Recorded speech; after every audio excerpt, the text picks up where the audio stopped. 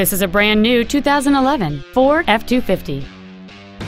It features a 6.7 liter, 8 cylinder engine and a 6 speed automatic transmission.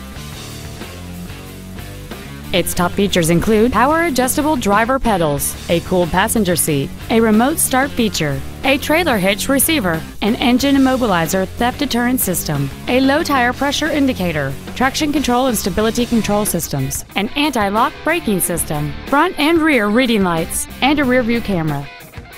Contact us today and schedule your opportunity to see this vehicle in person.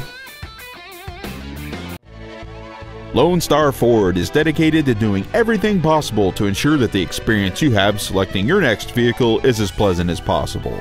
We are located at 8477 North Freeway in Houston.